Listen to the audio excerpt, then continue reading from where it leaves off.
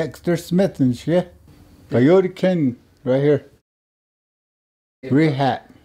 Yeah, I like it over here because because of my job at Walmart.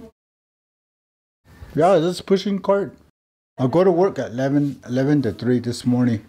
Yeah, yeah, there's uh there's two job coach. Yeah, he take me to work and then he pick me up and take me back over here. Sometimes we go to Albuquerque, sometimes we go to uh, like um, PBR National Fun Rodeo and powwow, all that stuff. Sometimes we do.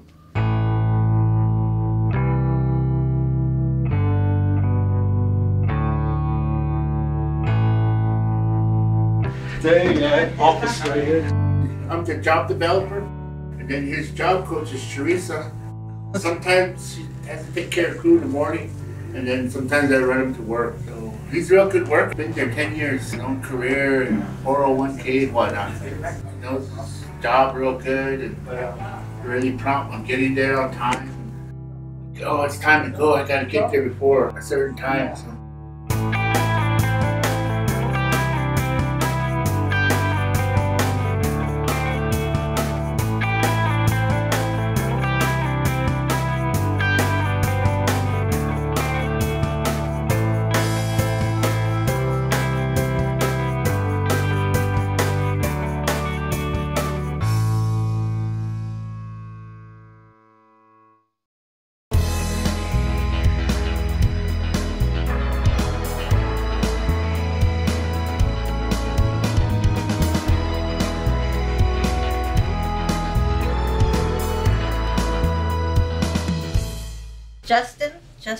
Harden, he's 26 years old. And Sean Harden, he's 23 years old. He has cerebral palsy. He's mostly in his wheelchair. He can move his hands and legs and arms and stuff.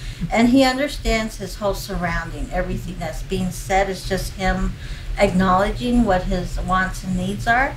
But he still does it anyway by his different tones. He was painting with his cousin and this is the the one with the ribbon is the one that he won the best of show in first place at San Juan County, and uh, that's kind of what started off his painting. So he was all happy about that, all excited, and then from there, that's kind of like what started his painting and taking art classes in high school. It was part of um, his graduation plan. And then from there, they started their business and getting their business cards and they're set up to sell. You like to sell your paintings, huh? Oh. Yes.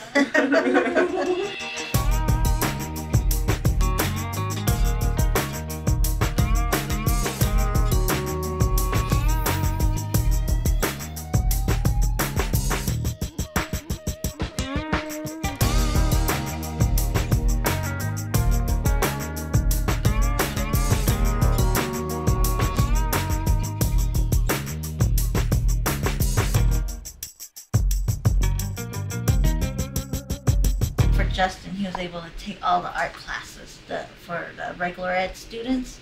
So he was able to take art one and art two. And the last year when he graduated in 2012, um, we, we I gave um, business cards to the teacher to give to all the students in the classroom, and they were all impressed. They were like, "Oh my gosh, you're not even graduating yet. You haven't graduated yet, and you already got a business going."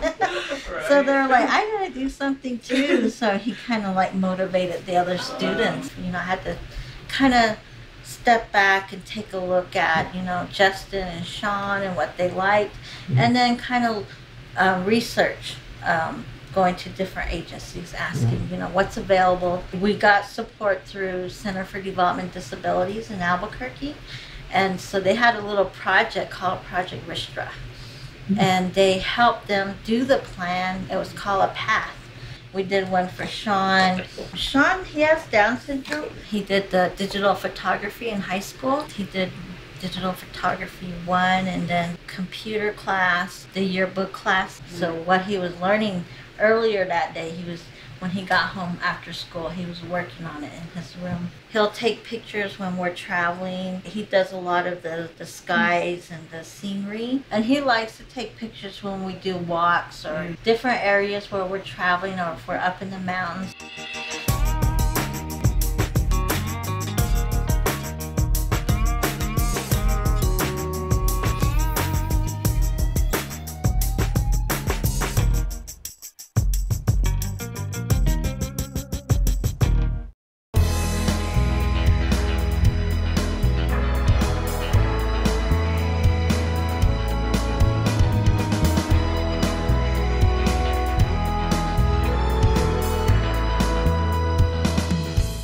Was born in, and raised in Chinle, Arizona. The disability I have is um retinitis pigmentosa.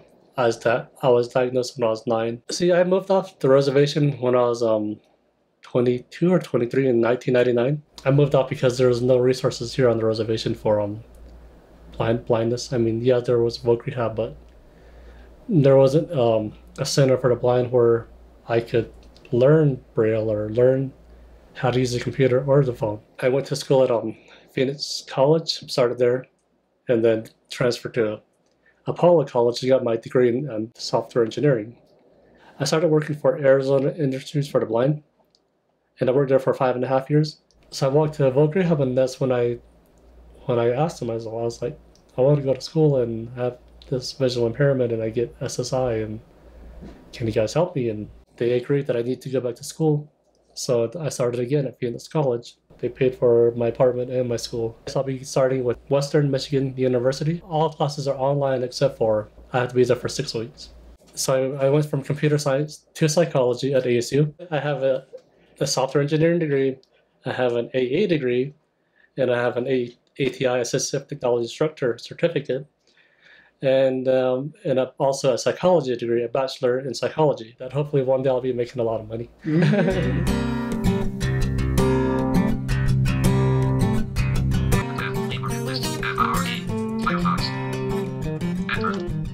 There's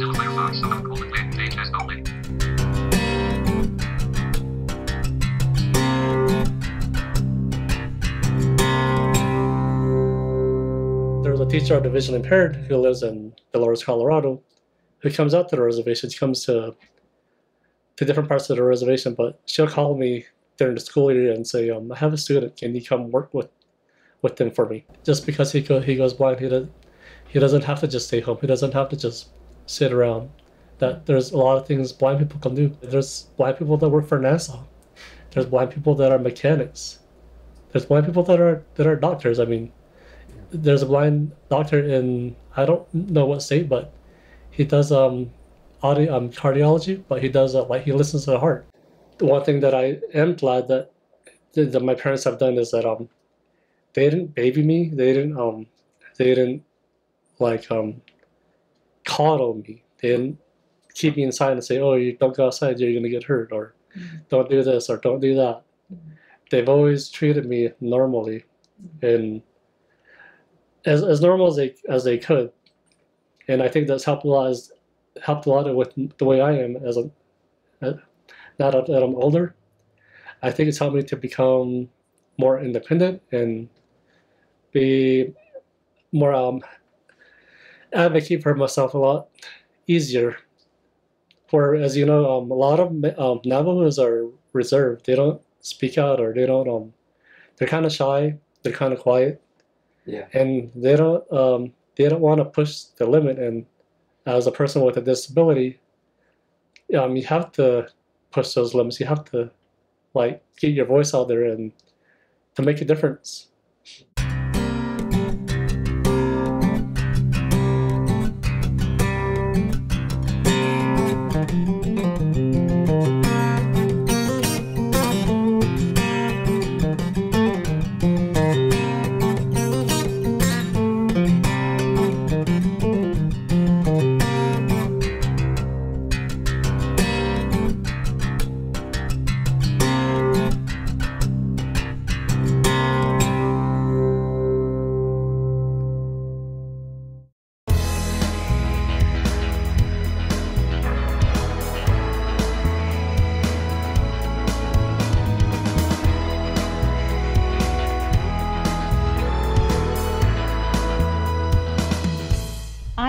Eliyazi King. I like the park because um, you know it represents the um, the veterans, the code talkers, and my son and my daughter. They're Marine Corps, so I think that's pretty cool.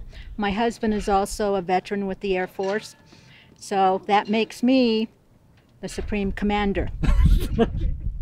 So we have uh, we do a ride. A um, it starts in May at the end of May from California all the way to um, D.C. and it's Run for the Wall. Motorcycles, a group of motorcycles, and it's well, it's not a group. It's about a hundred plus, and um, they used to come here Currently, I um, serve as a vocational rehabilitation counselor for the state of New Mexico DVR program, and I'm located in the Gallup office.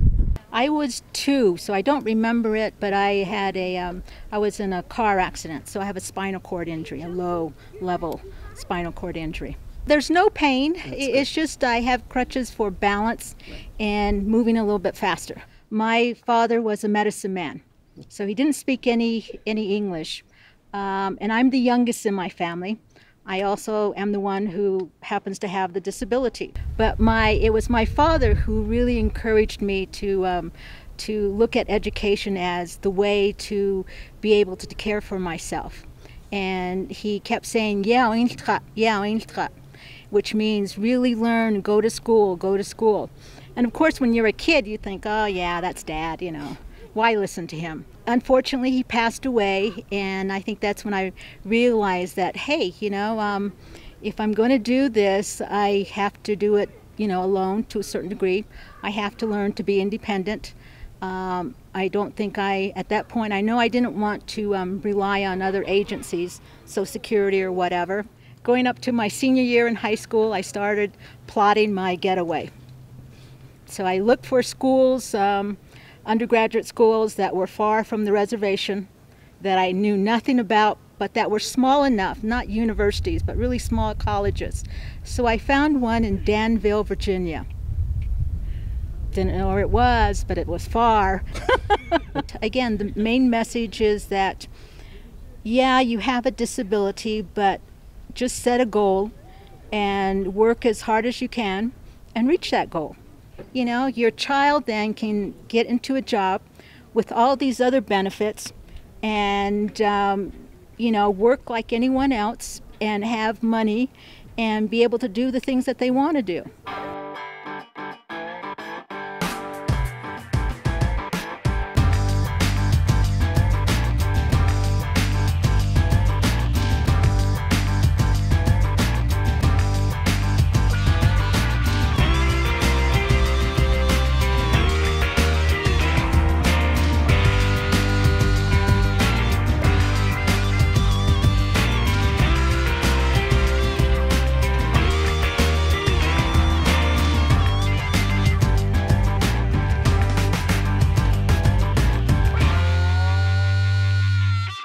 CAP is the Client's Assistance Program. And so if, um, if a client comes to DVR and they have some problems, they think that they are having and accessing the program. Maybe the counselor isn't returning their calls. For some reason, there's miscommunication or whatever, then the client has the right to call CAP.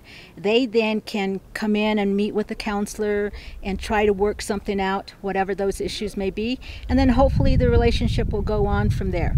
In addition to the Client Assistance Program, the CAP program, we also have another program called PABSS, which is to assist individuals who are receiving Social Security benefits return to work um, which can sometimes be challenging in our community because the overall unemployment rate for individuals, even without disabilities, is so high. And so I think that sometimes individuals, once they receive Social Security benefits, because it's such a long process and it's so difficult, once they receive those benefits, um, I think they're hesitant to put them at jeopardy. I think, yeah, it can be scary. You know, you have been receiving financial aid all this long, and all of a sudden it stops. You know, you know what happens, and I think it's really the family who depends on that not only for you know buying food and groceries and paying bills, but it gives them a um, um, you know a financial status that um, they might not have if if they no longer get that. But I think it's just important that people who are receiving Social Security benefits also consider employment options and it,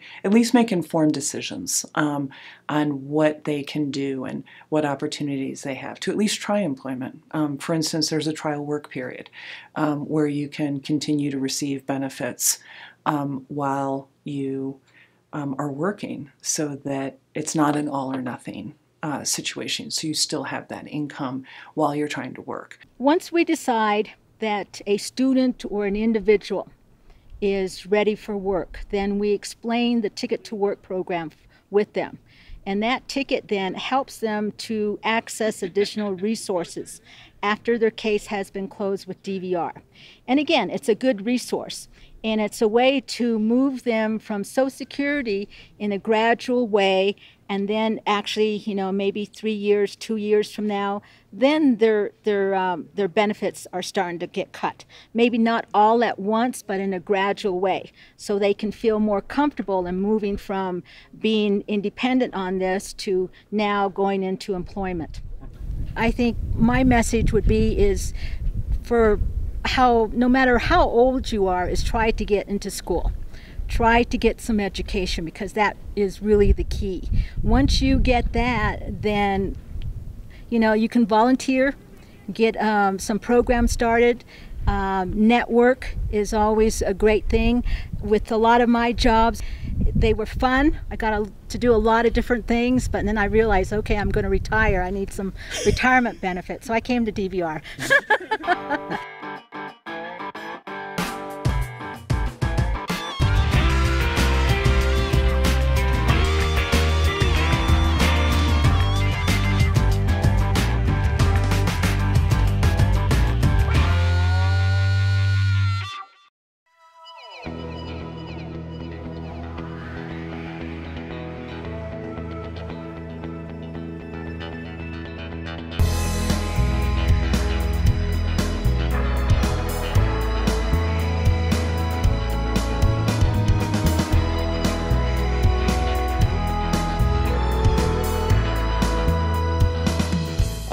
she um helped me out um through my high school year, yeah, and she um sent me to Durango.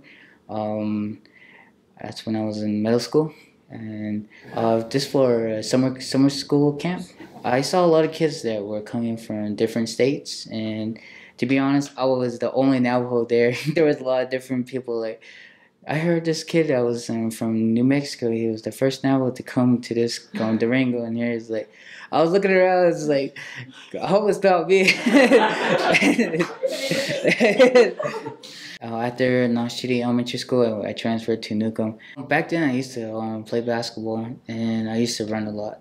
I used to run from here to all the way down to my grandma's house. Um, the only time I run was um, when I used to play basketball. I used to um, play at, ever since elementary to my high school year. Um, well, I've been working at Smokies for about close to a year now.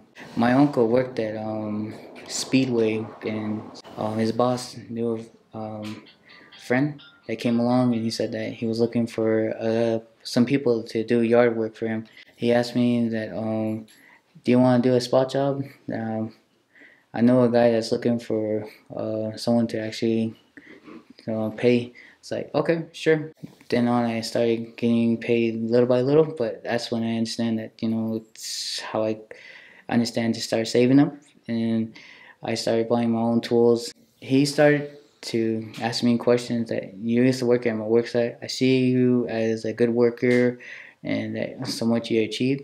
We're gonna hire you, but we're gonna put you as a busboy or a dishwasher. Uh, I was like, okay, um, I'll look forward. and then well, I showed up over there at Smokey's and I was pretty nervous. And they were like, "We're gonna put you as a dishwasher. Are you okay with it?" It's like, "Yeah, I'm okay with that." During college, I, um, they were some of my friends would tell me that um, in my life, um, they were they were saying that I I went through jail, I went through rehab, and all that stuff. That was been treated like a bully, or I was a bully back then, but I'm still a bully now. I asked them, I was like, do you still want that life? And they're like, no, I don't really want that life. And then I was like, what do you usually do in your spare time? Maybe I can actually get more information. Then they would tell me that I want to draw or I want to actually, you know, run or play basketball or go for walks. So um, I was like, well, let me look at my class schedules and then we'll work through here and there.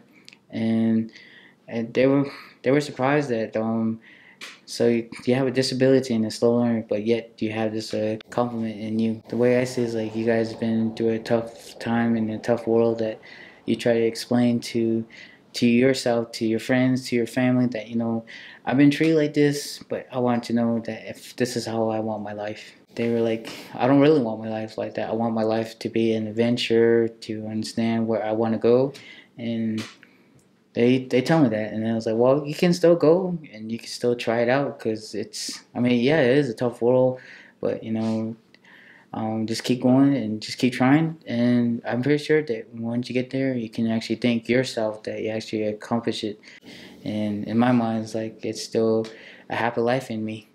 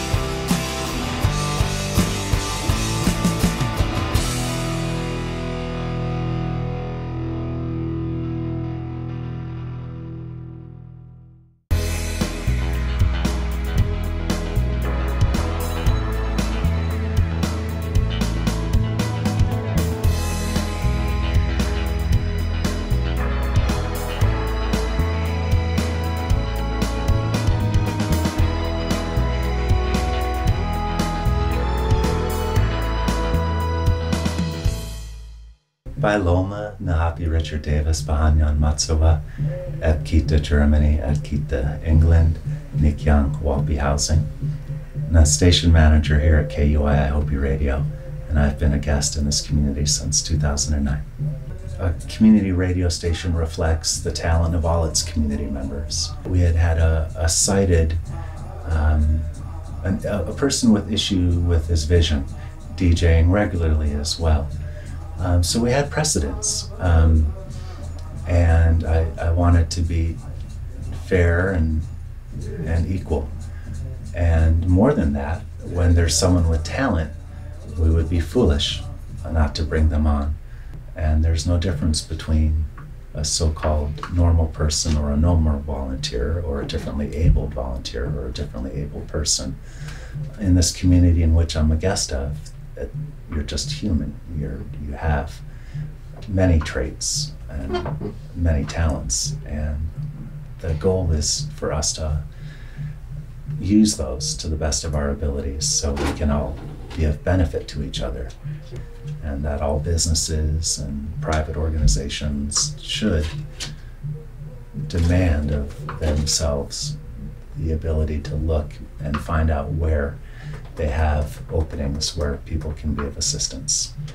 And we don't think it's anything special. We think this is how things should be.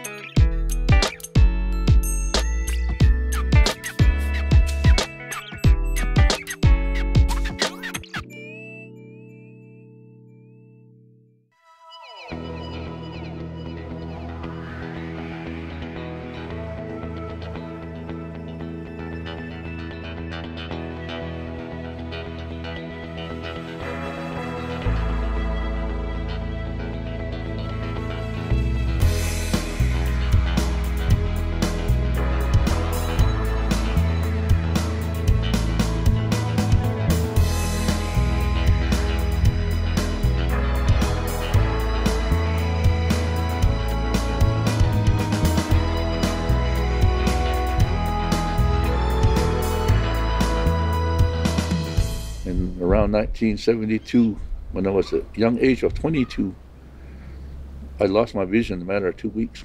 I'm legally blind. Uh, my name is Charlotte. I've worked here forever, like 15 years. um, I pick him up um, down in Shiprock where he lives. It's one of the lanes there. Um, he's close to me, so we agreed, you know, that I can pick him up and bring him into Farmington to the law Center. Um, I bring him into work. I just let him get comfortable and do his stuff, and then later he'll give me a call and I'll log him into his computer because he needs help there. He has a reader program that he does a lot of his recording to. He just does all all that stuff himself. I think he knows a lot of people in the community and he knows who to contact to get things um, going. Based on loss of, of vision, then, uh, you know, I just uh, decided, well, what do I want to do? You know, what's what's the best avenue for me? But uh, but I've always been interested in helping people. So that's why I, I went to school at Brigham Young University and then I got my degree in sociology. And uh, but what what I was when I went to uh, BYU, um, they had a program, a sociology program where you could do internships. I decided to do an internship with the uh, New Mexico Commission for the Blind and then the New Mexico Vocational Rehabilitation Program here in Farmington. But I was doing an internship here in Farmington, so they called me about two months before I graduated and offered me a job with the Navajo Nation as a VR counselor. And so I told them, well, I haven't graduated yet. They said, well, that's okay. Uh, you've got you've got the training. You're graduating here a couple of months now. So just come in and uh, sign your papers, your employment papers. So even before I graduated, I was employed with the Navajo Nation as a VR counselor. I guess to me, he's encouraging me because um, he does, he really does a lot on his own. And um, when somebody has that kind of thought about people that has that are disabled, I can always tell them, you know, um, hey, he, you know, he has um, visual impairment, but you know, there's things he can do that we can't do. People with uh, different kinds of disabilities, you know, they some of them struggle a lot. Some of them never get past acceptance of a disability. When I was going through times where I was in depression, even suicidal thoughts, alcoholism, all these things, you know, because um, you feel like you're being punished to some degree. You don't understand it. You don't, I don't know what's really going on with you, with, with your situation, and why you're, you're experiencing this. But I think um, what helped me was my cultural ways. One time I was having ceremony, and uh, and the medicine man told me he said, Your mom helping you, your dad's helping you, your brothers and sisters, and your wife, everybody's supporting you. But we can only do so much for you. So you're the one that's going to have to make up your mind as to what you want to do. My wife and I were on food stamps. We had a son that was only a little over a year, year a year old, and my wife was working but just barely making ends meet. And I decided, well, you know, I've had two years of college behind me. I decided I'm going to go back to college and get a degree and be self sufficient and take care of my family. Where do you want to be next year by this time? Don't let the, the disability become a barrier. You know, accept that. Say, it's me. Put into your heart and your mind, it's me. Now I have to go forward with it. And things will come out positive no matter, I guarantee it. I've seen it happen time and time again.